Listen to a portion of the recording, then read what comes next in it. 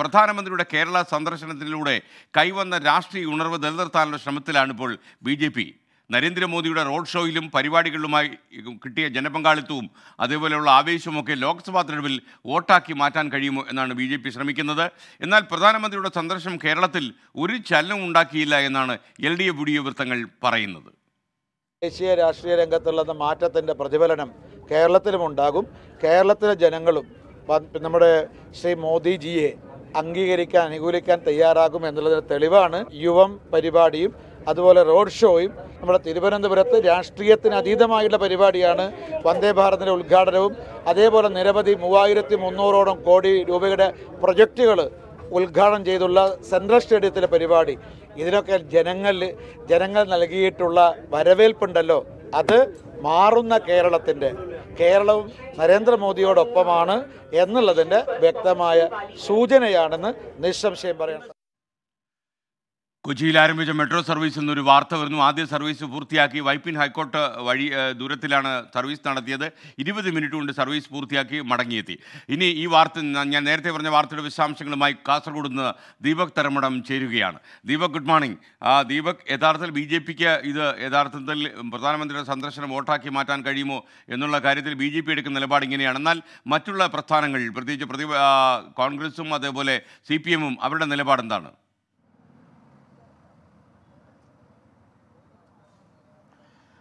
S K N B J P ഇന്നോളം ഇല്ലാത്ത വിധത്തിലുള്ള ആത്മവിശ്വാസ പ്രകടനമാണ്. പക്ഷേ പി കെ കൃഷ്ണദാസിന്റെ വാക്കുകളിലും അത് വ്യക്തമാണ്.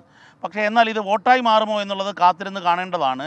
പക്ഷേ ഇന്നോളം ഇല്ലാത്ത വിധത്തിലുള്ള സംഘടനാ സംവിധാനം ഉപയോഗിച്ചുകൊണ്ട് ഒരു സർക്കാർ പരിപാടിയെ വളരെ കൃത്യമായി ഒരു പൊളിറ്റിക്കൽ ക്യാമ്പയിന് ഉപയോഗിച്ചു എന്നുള്ളതും ആ കാര്യത്തിൽ ആദ്യ ലാപ്പിൽ വലിയ വിജയം ബി നേടി എന്നുള്ളതും വസ്തുതയാണ്. കാരണം ഇന്നലെ തിരുവനന്തപുരം മുതൽ കാസർഗോഡ് വരെയുള്ള ഈ വന്ദേ ഭാരത് യാത്രയിൽ എനിക്ക് മനസ്സിലാക്കാൻ സാധിച്ചത് അല്ലെങ്കിൽ നിരീക്ഷണങ്ങൾ ഈ പ്രകാരമാണ് എന്ന് പറയാൻ സാധിക്കും. കാരണം എല്ലാ സ്റ്റോപ്പുകളിലും ബി ജെ പി പ്രവർത്തകർ കൂട്ടമായ ആവേശത്തോടുകൂടി നരേന്ദ്രമോദിക്ക് ജയഘോഷങ്ങൾ മുഴക്കിക്കൊണ്ട് വന്ദേ ഭാരത് എക്സ്പ്രസിനെ സ്വീകരിക്കുന്ന കാഴ്ച. ഇതൊരു ഭാഗത്ത്. മറുഭാഗത്ത് ഈ ട്രെയിനിലേക്ക് ആദ്യ യാത്ര നടത്താൻ വേണ്ടി രാഷ്ട്രീയത്തിലപ്പുറത്തേക്ക് കലാ സാംസ്കാരിക രംഗത്തുള്ള വ്യാവസായിക രംഗത്തുള്ള പ്രമുഖരെ വിവിധ ചേംബറുകളുടെ പ്രസിഡന്റുമാരെ ആ രീതിയിലുള്ളവരെ പത്മശ്രീ നേടിയവരെ എല്ലാം തന്നെ കൃത്യമായി ആദ്യ യാത്രയിൽ അതായത് ചെറിയ ഡെസ്റ്റിനേഷനിൽ കോഴിക്കോട് നിന്ന് കയറി കണ്ണൂരിലേക്ക് അതുപോലെ തൃശ്ശൂരിൽ നിന്ന് കയറി ഷൊർണൂരിലേക്ക് ഈ രീതിയിൽ ചെറിയ യാത്രയെങ്കിലും നടത്തിച്ച് ഈ ട്രെയിനിന്റെ ആദ്യ യാത്രയുടെ ഭാഗമാക്കി. ഇത് റെയിൽവേ ആണ് സർക്കാരാണ് പാസ് നൽകുന്നത്. പക്ഷേ ഈ തെരഞ്ഞെടുപ്പ് പ്രക്രിയ മൊത്തം നടത്തിയത് അതിഥികളെ ക്ഷണിച്ചത് എല്ലാം തന്നെ ബി ജെ പി ആണ്. രാഷ്ട്രീയമായി ബി ജെ പി അതിന് കൃത്യമായ ഒരു പ്രിയാർ എക്സസൈസ് ഉപയോഗിച്ചു എന്നുള്ളത് വസ്തുതയാണ്. നമ്മൾ മനസ്സിലാക്കേണ്ടത് ഇതുപോലെ തന്നെ നിരവധി ട്രെയിനുകൾ ബി ജെ പി ഭരിക്കുന്ന സമയത്ത് നേരത്തെ എത്തിയിട്ടുണ്ട്. മാവേലി എക്സ്പ്രസ് കേന്ദ്രമന്ത്രി ഒ രാജഗോപാൽ ചുമതല റെയിൽവേയുടെ ചുമതലയിൽ ഉണ്ടായിരുന്ന സമയത്താണ് കൊണ്ടുവരുന്നത് അമൃത എക്സ്പ്രസ് കൊണ്ടുവരുന്നത്. അതൊക്കെ കേവലം ഒരു സർക്കാർ പരിപാടിയായി മാത്രം ഉദ്ഘാടനം മാറിയ സമയത്ത് ഇത് വലിയൊരു ബി ജെ പി സമ്മേളനം അല്ലെങ്കിൽ ബി ജെ പി റാലിയുടെ എഫക്റ്റ് ഒരു പൊളിറ്റിക്കൽ മൈലേജ് ഉണ്ടാക്കാൻ ആദ്യ ലാപ്പിൽ ബി ജെ പിക്ക് സാധിച്ചു എന്നുള്ളത് വസ്തുത തന്നെയാണ്. പക്ഷേ എന്നാൽ ഇത് വോട്ടായി മാറുമോ എന്നുള്ളത് കാത്തിരുന്ന് കാണേണ്ടതാണ്. കാരണം ഇന്നലെ ഔസേപ്പച്ചനോട് സംസാരിക്കുമ്പോൾ അതുപോലെ തന്നെ പലരോടും പി ജയേന്ദ്രനോട് സംസാരിക്കുമ്പോൾ ഇവരെല്ലാം തന്നെ പ്രധാനമന്ത്രി നരേന്ദ്രമോദിക്ക് നന്ദി പറയുന്നു. ആ നന്ദി പറയുന്ന വാക്കുകൾ ബി ജെ പി രാഷ്ട്രീയമായി എങ്ങനെ എൻഗേജ് ചെയ്യും എന്നുള്ളത് കാത്തിരുന്ന് കാണേണ്ടതാണ് എസ് കെ എൻ. മറ്റൊന്ന് ഇതിനപ്പുറത്തേക്ക് മറ്റ് മുന്നണികൾ അതായത് എൽ ഡി എഫ് ആയാലും യു ഡി എഫ് ആയാലും ഇത് രാഷ്ട്രീയമായി ഏതെങ്കിലും രീതിയിൽ കേരളമാണ് എന്നുള്ള നിലപാടാണ് എടുത്തിരിക്കുന്നത്. പക്ഷേ എന്നാൽ രണ്ട് കാര്യങ്ങൾ ശ്രദ്ധിക്കേണ്ടതുണ്ട്. എം വി ജയരാജന്റെ നേതൃത്വത്തിൽ ഇന്നലെ ലോക്കോ പൈലറ്റ് നൽകിയ സ്വീകരണം. അതായത് വികസന കാര്യത്തിൽ രാഷ്ട്രീയം നോക്കേണ്ടതില്ല എന്ന നിലപാടാണ് എം വി ജയരാജൻ കണ്ണൂരിൽ പറയുന്നത്. അതായത് കണ്ണൂർ പോലെ കൃത്യമായ പൊളിറ്റിക്കൽ പോളറൈസേഷൻ ഉള്ള ഒരു സ്ഥലത്ത് ഒരു രാഷ്ട്രീയ നിലപാട് സി പി ഐ എം എടുക്കുന്നുണ്ടെങ്കിൽ സ്വാഭാവികമായും ഇതിന് ഒരു മറുപടി നൽകുകയും അല്ലെങ്കിൽ ഇത്തരത്തിലുള്ള ഒരു പൊളിറ്റിക്കൽ എൻഗേജ്മെന്റ് ബി ജെ പിക്ക് മാത്രമായി മാറരുത് എന്നുള്ളതും ആലോചിച്ചുറപ്പിച്ചുള്ള നിലപാടാണ്. മറ്റൊന്ന് രാജ്മോഹൻ ഉണ്ണിത്താൻ ഇന്നലെ പയ്യന്നൂരിൽ നിന്നും കാസർഗോഡിലേക്ക് ഈ ട്രെയിനിൽ യാത്ര ചെയ്തത്.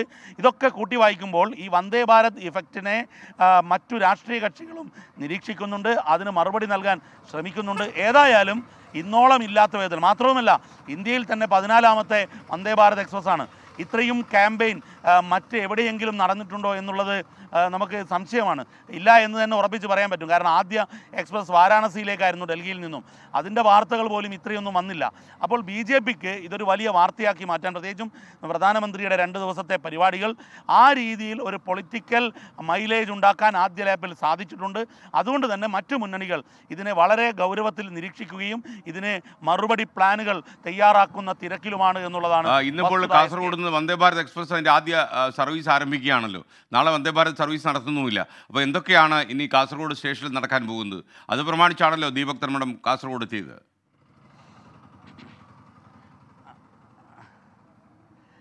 എസ് കെ എൻ ഇന്നലെ ഔദ്യോഗികമായ ഉദ്ഘാടന യാത്രയാണ്. കൂടുതൽ സ്റ്റേഷനുകളിൽ സ്റ്റോപ്പുകളോടുകൂടിയുള്ള യാത്രയാണ്. പക്ഷേ ഇന്ന് രണ്ടര മണിക്ക് വന്ദേ ഭാരതിന്റെ ഔദ്യോഗികമായ ആദ്യ യാത്ര പാസഞ്ചർ യാത്ര. അതായത് ഇന്നലെ സൊവനീർ ടിക്കറ്റുമായുള്ള യാത്രയാണ്.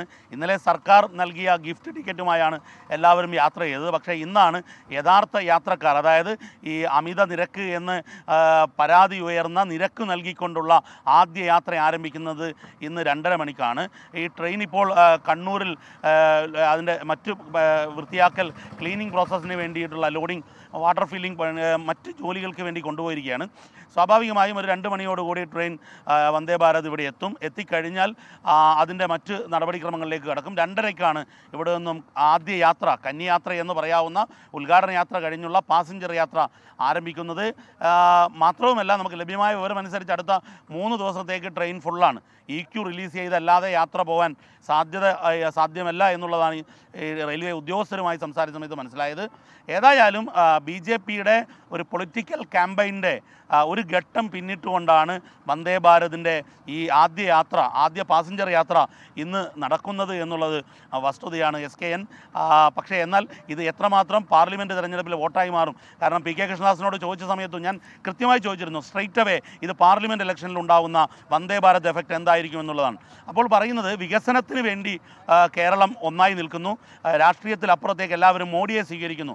അപ്പോൾ ഒരു മോഡിഫിക്കേഷൻ കേരളത്തിൽ നടത്തുന്നു ഒരു മോഡി ഇഫക്റ്റ് ഉണ്ടാക്കുന്നു എന്നുള്ളത് തന്നെയാണ് ഈ വന്ദേ ഭാരതിലൂടെ ബി ജെ പി ടാർഗറ്റ് ചെയ്യുന്നത് S K N. Okay thank you Deepak തർമ്മമാണ് Kasaragod railway സ്റ്റേഷനിൽ നമുക്കൊപ്പം ചേർന്നത്.